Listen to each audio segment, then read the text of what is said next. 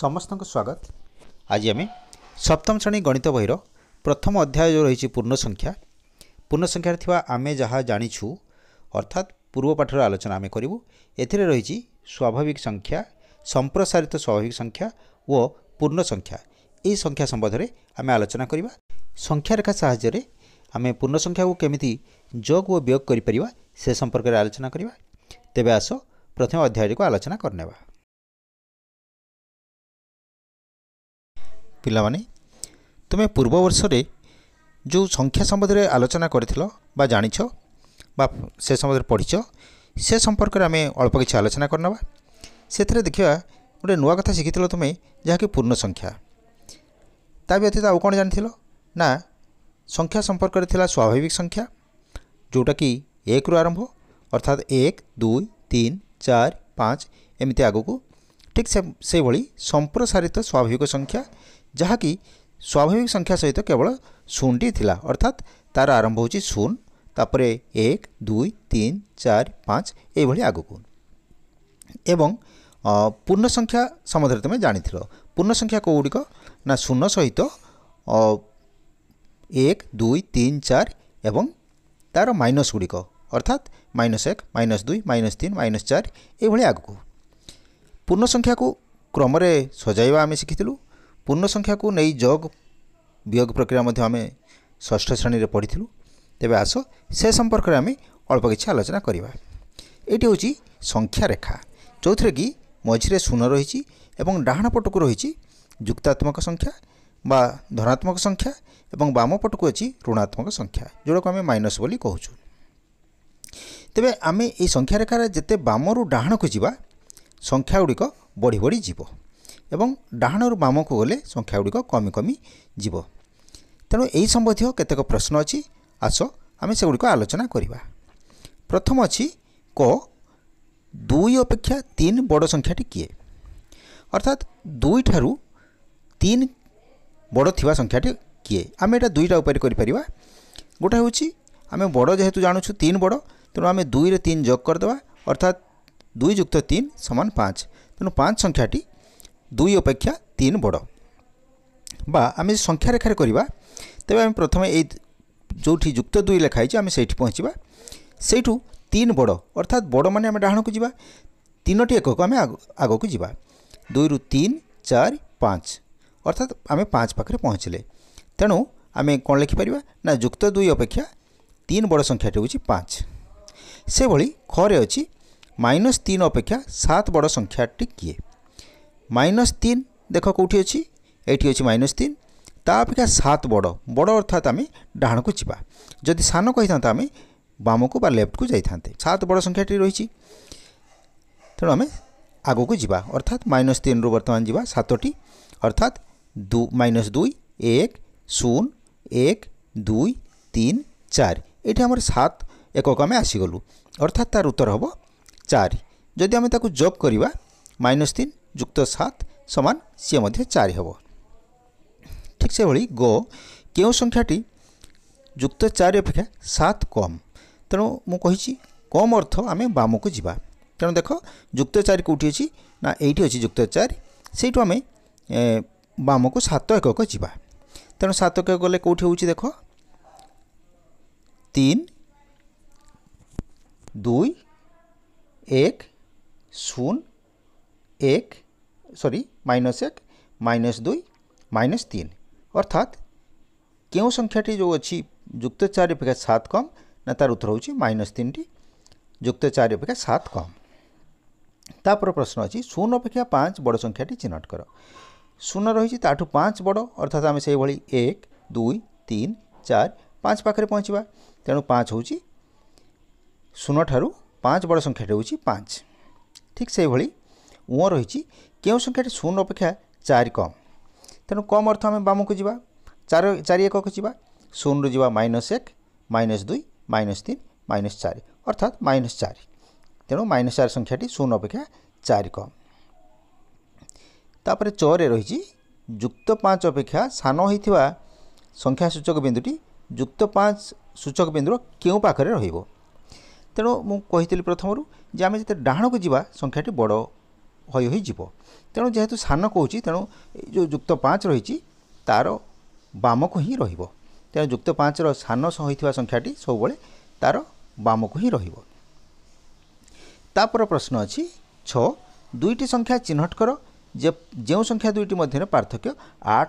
ଏଭଳି ଅଧିକ ଯୋଡ଼ା ସଂଖ୍ୟା ପାଇବ କି ଆମେ ପ୍ରଥମେ ଗୋଟିଏ ନେବା ଯେ ଦୁଇଟି ସଂଖ୍ୟା ଚିହ୍ନଟ କରିବା ଯେଉଁ ଭିତରେ ପାର୍ଥକ୍ୟ ଆଠ ଥିବ ଦେଖ ଆମେ ପ୍ରଥମେ ଧର ମାଇନସ୍ ଛଅରୁ ଆମେ ନେବା মাইনস ছু আঠ পার্থক্য থাকা সংখ্যাটি আমি বাহার করা তেমন মাইনস ছু আমি আঠ একক ডাহাণকু যা বামকু মধ্যে গলে হব কিন্তু এটি আমি সংখ্যা রেখার যেহেতু মাইনস ছ পর্যন্ত নেইছু তেমন আমি মাইনস ছু আমি নেলু মাইনস ছু আঠটি একক আমি আগুক যা এই দেখ এক মানে অর্থাৎ মাইনস পাঁচরে আমি পৌঁছিলে দুই মাইনস চারে পৌঁছিলে মাইনস তিন মাইনস দুই মাইনস এক zero plus one plus two এইটা আমার আঠটি একক হয়েগলা অর্থাৎ মাইনস ছ এবং প্লস টু মধ্যে আঠ একক ব্যবধান রয়েছে ঠিক সেভাবে যদি আমি মাইনস পাঁচরু নেওয়া মাইনস পাঁচরু যদি আমি গণি গণি নেওয়া আঠ একক তাহলে যুক্ত তিন পাখে পৌঁছব সেভাবে মাইনস চারি পাখু যদি নেওয়া আমি সেমি যুক্ত চারি পাইবা এইভাবে আমি অনেক গুড়িয়ে যোড়া পাইপার যাহার কি পার্থক্য আঠ একক হোক তাপর প্রশ্ন মাইনস তিন ও যুক্ত দুই মধ্যে পার্থক্য কেতে মাইনস তিন ও যুক্ত দুই দেখ মাইনস তিন এটি রয়েছে এবং যুক্ত দুই তা ভিতরে কেতে পার্থক্য রয়েছে দেখ minus two one zero one two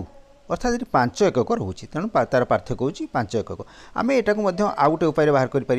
যদি যুক্ত দুই রু মাইনস তিন বিয়োগ করেদেবা তাহলে মধ্যে আমি পাঁচ একক পাইপার তাপর প্রশ্ন অছি সংখ্যারেখা উপরে মাইনস চার ঠারু তিন পর্যন্ত থিবা একক সংখ্যা কেতে মাইনস চার ঠারু যুক্ত তিন পর্যন্ত থিবা দেখ মাইনস চার ঠারু যুক্ত তিন এটি রহিলা মাইনস চার এটি রয়েছে যুক্ত আমি গণিবা দেখ এক দুই তিন চার পাঁচ ছ সাত অর্থাৎ এটি সাত একক রয়েছে তেমন আমার যে প্রশ্ন লা মাইনস চারু ତିନି ପର୍ଯ୍ୟନ୍ତ ଥିବା ଏକକ ସଂଖ୍ୟା କେତେ ନା ସାତ ଠିକ୍ ସେଭଳି ତାପର ପ୍ରଶ୍ନ ସଂଖ୍ୟାରେଖା ଉପରେ ଯୁକ୍ତ ଚାରିଠାରୁ ମାଇନସ୍ ତିନି ପର୍ଯ୍ୟନ୍ତ ଥିବା ଏକକ ସଂଖ୍ୟା କେତେ ସଂଖ୍ୟାରେ ସେମିତି ଯୁକ୍ତ ଚାରିରୁ ମାଇନସ୍ ତିନି ସେଇଭଳି ଆମେ ଗଣିବା ଯୁକ୍ତ ଚାରିରୁ ମାଇନସ୍ ତିନି one two three four five six seven ଏଠି ମଧ୍ୟ ସାତ ଏକକ ରହିଲା ତାପରେ ଅଛି ନିମ୍ନ ପ୍ରଶ୍ନ ଗୁଡ଼ିକର ଉତ୍ତର ଦିଅ ଯୁକ୍ତ ପାଞ୍ଚ ଓ ଯୁକ୍ତ ଆଠର ଯୋଗଫଳ କେତେ ଆମେ ଯୋଗଫଳ ଦୁଇ ପ୍ରକାର ଆମେ ଜାଣିଛୁ ଆଗରୁ ମଧ୍ୟ ଆମେ ଯୋଗ ଶିଖିଛୁ ଯେଉଁଟାକି ଏମିତି ଆମେ ପାଞ୍ଚଟି ନେଲୁ ସଂଖ୍ୟା ପାଞ୍ଚଟି ଜିନିଷ ନେଲୁ ଆଉ ଆଠଟି ଜିନିଷ ନେଲୁ ତାକୁ ଆମେ ମିଶାଇଦେଲୁ ଏବଂ ଗଣିଲୁ କିନ୍ତୁ ସଂଖ୍ୟା ରେଖାରେ ଆମେ ଯେତେବେଳେ କରିବା ସେତେବେଳେ ପ୍ରଥମେ ଆମେ ପାଞ୍ଚ ଏକ ଶୂନରୁ ଆମେ ଆରମ୍ଭ କରିବା ଶୂନରୁ ପାଞ୍ଚ ପର୍ଯ୍ୟନ୍ତ ଯିବା ତା'ପରେ ପୁଣି ପାଞ୍ଚରୁ ଆଉ ଆଠ ଏକକ ଯିବା ଅର୍ଥାତ୍ তের একক পর্যন্ত আমি তের পর্যন্ত আমি যাইপারিবা অর্থাৎ তের হব পাঁচ যুক্ত আট সমান তের এইটা ଆଉ ଗୋଟେ କଥା ମୁଁ କହି ରଖୁଛି ଯେତେବେଳେ ଆମେ ପରବର୍ତ୍ତୀ ଗଣିତ ଗୁଡ଼ିକ କରିବା ଆମେ କ'ଣ କରିବା ନା ଯେତେବେଳେ ଋଣାତ୍ମକ ସଂଖ୍ୟା ବା ପୂର୍ଣ୍ଣ ସଂଖ୍ୟାର ଯୋଗ କରିବା ସେତେବେଳେ ଆମେ ଲକ୍ଷ୍ୟ କରିବା ତାଙ୍କର ଚିହ୍ନ କ'ଣ ଅଛି ଆମେ ଗୋଟେ ସହଜ ଉପାୟ ମନେ ରଖିବା ଯଦି ଏକ ପ୍ରକାର ଚିହ୍ନ ଅଛି ଅର୍ଥାତ୍ ଯୁକ୍ତ ସହିତ ଯୁକ୍ତକୁ ଆମେ ଯୋଗ କରୁଛେ ବା ବିଯୁକ୍ତ ସହିତ ବିଯୁକ୍ତକୁ ଯୋଗ କରୁଛେ ସେତେବେଳେ କ'ଣ କରୁଛେ ନା ସେହି ସଂଖ୍ୟାର ଚିହ୍ନ ରହିବ ସରି ଯେଉଁ ଚିହ୍ନଟି ଥିବ ସେହି ଚିହ୍ନଟି ଦେବା ଏବଂ ଦୁଇଟି ସଂଖ୍ୟା ମିଶିଯିବ ତାହେଲେ ଧର ଯୁକ୍ତ ପାଞ୍ଚ ଏବଂ ଯୁକ୍ତ ଆଠ ଅଛି ତେଣୁ ଏଠି ଆମର ଦୁଇଟାର ଚିହ୍ନ ଅଛି ଯୁକ୍ତ ଅଛି ତେଣୁ ଯୁକ୍ତ ଚିହ୍ନ ଦେବା ଏବଂ ସେ ଦୁଇଟି ମିଶିଯିବ ଅର୍ଥାତ୍ ପାଞ୍ଚ ଆଉ ଆଠ ହୋଇଗଲା ତେର ହୋଇଗଲା ঠিক সেমি দেখ ঘরে অছি মাইনস চারি ও মাইনস সাত এটি চিহ্ন সমান অছি অর্থাৎ সেই চিহ্নটি নেওয়া এবং সাত আউ চারিকু আমি যোগ করিদেবা তেমন মাইনস এগার হয়েযিব কিন্তু যেতবে চিহ্ন অলগা থিব যেমি খরে অছি মাইনস তিন ও যুক্ত আট সেতবে আমি চিহ্ন ছাড়িদেলা পরে যে সংখ্যাটি বড় তার তার চিহ্নটি আমি নেবা এটি মাইনস তিন ও আটর চিহ্ন ছাড়িদেলে তিন আউ আট রয়েছে তেমন বড় সংখ্যার চিহ্ন হচ্ছে প্লস এবং সেইটাকে বিয়োগ করিদেবা ଆଠରୁ ତିନି ଗଲା ପାଞ୍ଚ ତେଣୁ ଏଠି ହେବ ଯୁକ୍ତ ପାଞ୍ଚ ଠିକ୍ ସେମିତି ଗରେ ଆମେ କରିବା ଚିହ୍ନ ଅଲଗା ଅଛି ଗୋଟେ ଅଛି ମାଇନସ୍ ଅଛି ଗୋଟେ ପ୍ଲସ୍ ଅଛି ତେଣୁ ଚିହ୍ନ ଉଠାଇଦେଲା ପରେ ସଂଖ୍ୟା ଦୁଇଟା ହୋଇଗଲା ସାତ ଏବଂ ପାଞ୍ଚ ସାତ ତେଣୁ ବଡ଼ ସଂଖ୍ୟାର ଚିହ୍ନ ନେବା ଅର୍ଥାତ୍ ସାତର ଚିହ୍ନ ମାଇନସ୍ ଲେଖିବା ଏବଂ ସେ দুটি বিয়োগ କରିଦେବା অর্থাৎ সাতরু পাঁচ গলে দুই তেমন আর উত্তর হব মাইনস দুই কিন্তু সংখ্যা রেখার যেতবে আমি করা যেতবে ধর মাইনস তিন ও যুক্ত আট মাইনস তিন প্লস এইট মাইনস তিন প্লস এইট তেমন জিরো প্রথমে আমি মাইনস তিন পর্যন্ত যা পুঁ সেইটু আঠ একক ডাহাণকু যা প্লস যেহেতু অছি তেণু আঠ একক গলে কেতে হচ্ছে না পাঁচ পর্যন্ত পৌঁছুছি তেণু তার উত্তর হব প্লস ফাইভ ঠিক সেমিতি মাইনস সাত ও পাঁচর যোগফল কেতে তেণু আমি কোণ করা না প্রথমে জিরো মাইনস সাত পর্যন্ত যা পুঁ তাপরে जो ରହିଛି ପ୍ଲସ୍ ଫାଇଭ୍ ପୁଣି ଆମେ ଡାହାଣକୁ ଫେରିବା ପାଞ୍ଚଟି ଏକକ ଆସିଲା ପରେ ଆମେ ଏଠି ମାଇନସ୍ ଦୁଇ ପାଖରେ ପହଞ୍ଚିବା ଅର୍ଥାତ୍ ତା'ର ଉତ୍ତର ହେବ ମାଇନସ୍ ଟୁ ପରବର୍ତ୍ତୀ ପ୍ରଶ୍ନ ଓ ଯେଉଁଥିରେ କି ରହିଛି ପ୍ଲସ୍ ଏଇଟ୍ରୁ ପ୍ଲସ୍ ଥ୍ରୀ ବିୟୋଗ କର ଆମେ ଏମିତି ସାଧା ବିୟୋଗ ଜାଣିଛୁ ଯେଉଁଥିରେ କି ଆଠରୁ ଆମେ ତିନି ବିୟୋଗ କରିବୁ ଆଠରୁ ତିନି ଗଲେ ପାଞ୍ଚ କିନ୍ତୁ ଆମେ ଯେତେବେଳେ ସଂଖ୍ୟା ରେଖାରେ କରୁଛୁ ସେତେବେଳେ ଆମେ ପ୍ରଥମେ জিরোর আট পর্যন্ত যা পুঁ সেইটু তিন বিয়োগ করা অর্থাৎ বিয়োগ অর্থ কমি যাচ্ছি তেমন আমি বামকু তিন একক আসবা দেখ